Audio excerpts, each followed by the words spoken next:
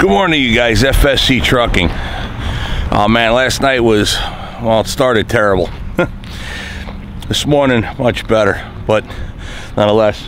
Anyway, we got Orwell right here. Orwell's my 1984 Peterbilt 362 cab over. Well, where in the heck am I? Well, we're in Hayti or Hayti, uh, Missouri. I'm not sure exactly how that's properly pronounced. It's just spelled Hayti. Anyway, with that being said, we're at a hotel. Parked right over here. Got a hotel last night. I pulled up in here after we washed the truck yesterday. We're down in West Memphis. I fueled it up, washed it. That was kind of a nightmare in and of itself. Petro, the Fuel Island pork chops, they ran out of food.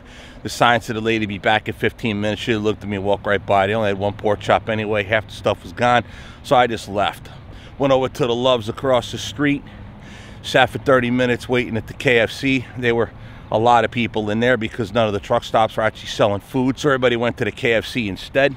And then at that point, it became a whole thing of, well, I was parked not in, uh, I wasn't blocking the fuel pump, but I was all the way forward through the fuel pump, you know, so where somebody could pull in behind me to get fuel.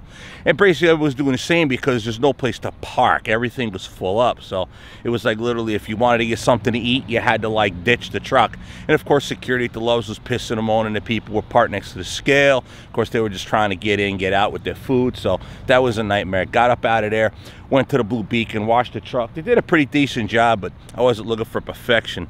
Then we came over here, figured I'd get some sleep over here at the Roadies right there across the way. And I pulled into the back lot, and then no sooner as I got parked, set the brakes, that we just got swarmed with mosquitoes, and I just got ate up. All my left side just got completely ate up all around my shirt. Oh, it was, it was terrible. I mean, just ate, I mean, literally sat there for 10 minutes. I was just started to get my computer set up to do uh, SD card transfers out of my GoPros. And in, in that 10 minutes, I must have gotten 50 bites. I was like, all right, F this, I'm out of here. So we came over here to the hotel. They gave me a decent CDL rate. They had space to park the truck, so we're good to go. So that was my disastrous night last night. No, I shouldn't say disastrous, but in the end, it in, in the end, I slept pretty good. So I just got to throw my bag up in Orwell and we'll get the heck out of here. Tomorrow or Sunday, today is Friday. Tomorrow or Sunday, we're going to unload that truck over there that we picked up down there in Mississippi, up at Hatley. That's the plan anyway. Worst case, we wait till Monday, but I'd rather do it Saturday or Sunday. But that's the thing. Matt's last day at home is going to be Saturday. So I'm hoping to do some family stuff with him and Jen. And then uh, that's that because he's moving out moving on. All right, well, with that, let's get that bag thrown in there, get Orwell started, fire it up, and get on with my day.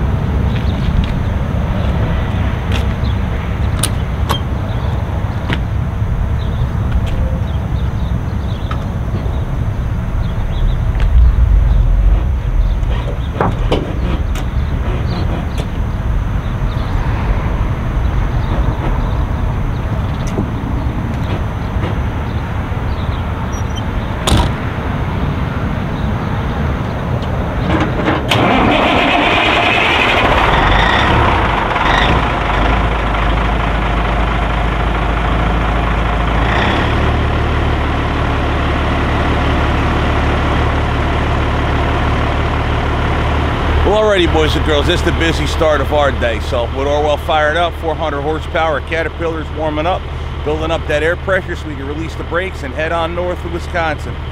Most likely tonight, we're just going to go straight home, sleep tonight, and then we'll see as far as whether we're going to unload Saturday or Sunday. If we unload Saturday in the morning, we're just going to head straight to Hatley tonight. If we unload Sunday, then we'll go home, spend Saturday with the family, and then Sunday, we'll go ahead and kick this, this uh, and Sunday we'll go ahead and kick this wrecker off. I realize an error I keep making. It's not actually a wrecker. It's just a flatbed truck. It used to have a Moffett forklift in the back. See that set up right there? That's what that was. I keep forgetting. I'm like, wait, I keep calling it a wrecker. No, it's not. It's actually a flatbed truck. It was owned by a lumber yard. So that's the work they did with it. All right, with that, they say the devil's in the details. Well, there it is. That detail's figured out now for you boys and girls. All right, let's get her figured out. Brody says a Subway. Do I want that or do I want to take a chance with the pilot? Eh, I don't know. I'll figure it out. This is this.